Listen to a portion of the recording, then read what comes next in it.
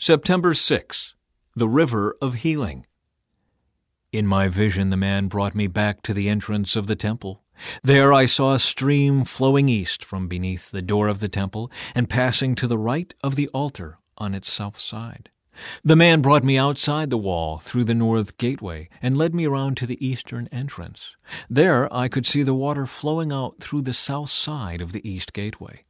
Measuring as he went, he took me along the stream for 1,750 feet and then led me across. The water was up to my ankles. He measured off another 1,750 feet and led me across again.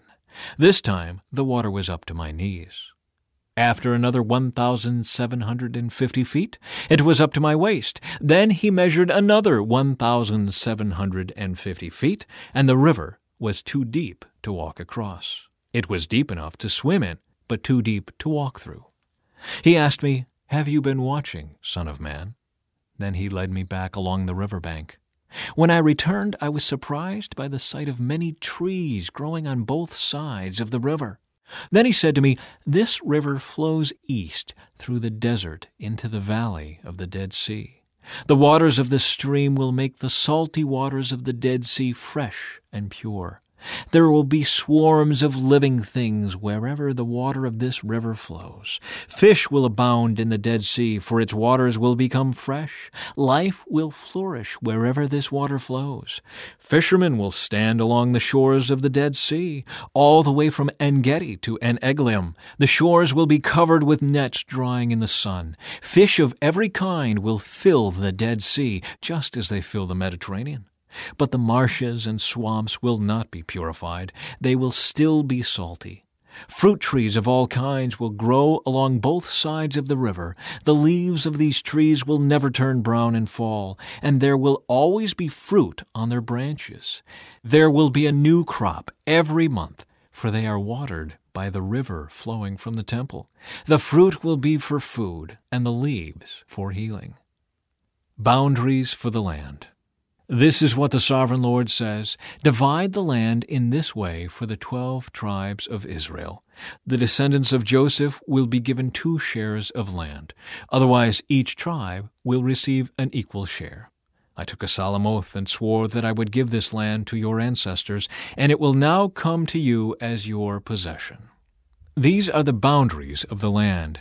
The northern border will run from the Mediterranean toward Hethlon, then on through Lebo Hamath to Zedad. Then it will run to Berothah and Sibraim, which are on the border between Damascus and Hamath, and finally to Hazar Hatticon on the border of Hauran. So the northern border will run from the Mediterranean to Hazar Enan on the border between Hamath to the north and Damascus to the south. The eastern border starts at a point between Hauran and Damascus and runs south along the Jordan River between Israel and Gilead, past the Dead Sea, and as far south as Tamar. This will be the eastern border. The southern border will go west from Tamar to the waters of Meribah at Kadesh, and then follow the course of the brook of Egypt to the Mediterranean. This will be the southern border. On the west side, the Mediterranean itself will be your border from the southern border to the point where the northern border begins, opposite Lebo Hamath. Divide the land within these boundaries among the tribes of Israel. Distribute the land as an allotment for yourselves and for the foreigners who have joined you and are raising their families among you. They will be like native born Israelites to you and will receive an allotment among the tribes. These foreigners are to be given land within the territory of the tribe with whom they now live. I, the sovereign Lord, have spoken. Division of the land. Here is the list of the tribes of Israel and the territory each is to receive. The territory of Dan is in the extreme north. Its boundary line follows the Hethlon road to Lebo Hamath and then runs on to Hazar Enan on the border of Damascus, with Hamath to the north. Dan's territory extends all the way across the land of Israel from east to west. Asher's territory lies south of Dan's and also extends from east to west. Naphtali's land lies south of Asher's, also extending from east to west. Then comes Manasseh, south of Naphtali, and its territory also extends from east to west. South of Manasseh is Ephraim, and then Reuben, and then Judah, all of whose boundaries extend from east to west. South of Judah is the land set aside for a special purpose. It will be eight and one third miles wide and will extend as far east and west as the tribal territories, with the temple at the center. The area set aside for the Lord's temple will be eight and one third miles long and six and two third miles wide. For the priests, there will be a strip of land measuring eight and one third miles long by three and one third miles wide, with the Lord's temple at the center. This area is set aside for the ordained priests, the descendants of Zadok, who served me faithfully and did not go astray with the people of Israel and the rest of the Levites. It will be their special portion when the land is distributed, the most sacred land of all. Next to the priest's territory will lie the land where the other Levites will live. The land allotted to the Levites will be the same size and shape as that belonging to the priests, eight and one third miles long and three and one third miles wide. Together, these portions of land will measure eight and one third miles long by six and two third miles wide. None of this special land may ever be sold or traded or used by others, for it belongs to the Lord. It is set apart as holy. An additional strip of land eight and one third miles long by one and two third miles wide, south of the sacred temple area, will be allotted for public use, homes, pasture lands, and common lands, with a city at the center.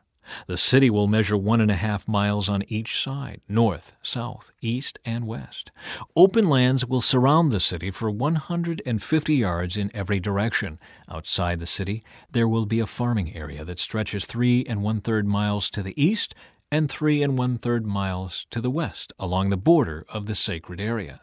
This farmland will produce food for the people working in the city. Those who come from the various tribes to work in the city may farm it. This entire area, including the sacred lands and the city, is a square that measures eight and one third miles on each side. The areas that remain to the east and to the west of the sacred lands and the city will belong to the prince. Each of these areas will be eight and one third miles wide, extending in opposite directions to the eastern and western borders of Israel, with the sacred lands and the sanctuary of the temple in the center. So the prince's land will include everything between the territories allotted to Judah and Benjamin, except for the areas set aside for the sacred lands and the city. These are the territories allotted to the rest of the tribes. Benjamin's territory lies just south of the prince's lands, and it extends across the entire land of Israel from east to west. South of Benjamin's territory lies that of Simeon, also extending across the land from east to west. Next is the territory of Issachar with the same eastern and western boundaries. Then comes the territory of Zebulun, which also extends across the land from east to west. The territory of Gad is just south of Zebulun, with the same borders to the east and west. The southern border of Gad runs from Tamar to the waters of Meribah at Kadesh, and then follows the brook of Egypt to the Mediterranean. These are the allotments that will be set aside for each tribe's exclusive possession. I, the sovereign Lord, have spoken. The gates of the city. These will be the exits to the city. On the north wall, which is one and a half miles long, there will be three gates, each one named after a tribe of Israel. The first will be named for Reuben, the second for Judah, and the third for Levi. On the east wall, also one and a half miles long, the gates will be named for Joseph, Benjamin, and Dan. The south wall, also one and a half miles long, will have gates named for Simeon, Issachar, and Zebulun. And on the west wall, also one and a half miles long, the gates will be named for Gad, Asher, and Naphtali. The distance around the entire city will be six miles, and from that day the name of the city will be The Lord is There. Nebuchadnezzar to conquer Egypt. On April 26, the first day of the new year, during the 27th year of King Jehoiachin's captivity, this message came to me from the Lord. Son of man, the army of King Nebuchadnezzar of Babylon fought so hard against Tyre that the warriors' heads were rubbed bare and their shoulders were raw and blistered. Yet Nebuchadnezzar and his army won no plunder to compensate them for all their work. Therefore, this is what the sovereign Lord says I will give the land of Egypt to Nebuchadnezzar, king of Babylon. He will carry off its wealth, plundering everything it has, so he can pay his army. Yes, I have given him the land of Egypt as a reward for his work, says the sovereign Lord, because he was working for me when he destroyed Tyre. And the day will come when I will cause the ancient glory of Israel to revive. And then, Ezekiel, your words will be respected. Then they will know that I am the Lord. A sad day for Egypt. This is another message that came to me from the Lord. Son of man, prophesy and give this message from the sovereign Lord. Weep and wail for that day, for the terrible day is almost here, the day of the Lord it is a day of clouds and gloom, a day of despair for the nations. A sword will come against Egypt, and those who are slaughtered will cover the ground. Its wealth will be carried away, and its foundations destroyed. The land of Ethiopia will be ravished. Ethiopia, Libya, Lydia, all Arabia, and all their other allies will be destroyed in that war. For this is what the Lord says all of Egypt's allies will fall, and the pride of her power will end. From Migdol to Aswan, they will be slaughtered by the sword, says the sovereign Lord. Egypt will be desolate, surrounded by desolate nations, and its cities will be in ruins, surrounded by other ruined cities. And the people of Egypt will know that I am the Lord when I have set Egypt on fire and destroyed all their allies. At that time I will send swift messengers in ships to terrify the complacent Ethiopians. Great panic will come upon them on that day of Egypt's certain destruction. Watch for it, it is sure to come. For this is what the sovereign Lord says By the power of King Nebuchadnezzar of Babylon, I will destroy the hordes of Egypt. He and his armies, the most ruthless of all, will be sent to demolish the land. They will make war against Egypt until slaughtered Egyptians cover the ground. I will dry up the Nile River and sell the land to wicked men. I will destroy the land of Egypt and everything in it by the hands of foreigners. I, the Lord, have spoken. This is what the sovereign Lord says I will smash the idols of Egypt and the images at Memphis. There will be no rulers left in Egypt. Terror will sweep the land. I will destroy southern Egypt, set fire to Zoan, and bring judgment against Thebes. I will pour out my fury on Pelusium, the strongest fortress of Egypt, and I will stamp out the hordes of Thebes. Yes, I will set fire to all Egypt. Pelusium will be racked with pain. Thebes will be torn apart. Memphis will live in constant terror. The young men of Heliopolis and Bubastis will die in battle, and the women will be taken away as slaves. When I come to break the proud strength of Egypt, it will be a dark day for Tahpanhes too. A dark cloud will cover Tahpanhes, and its daughters will be led away as captives. And so I will greatly punish Egypt, and they will know that I am the Lord. Hope for Israel's royal line. In the thirty seventh year of the exile of King Jehoiachin of Judah, evil Merodach ascended to the Babylonian throne. He was kind to Jehoiachin and released him from prison on April 2 of that year.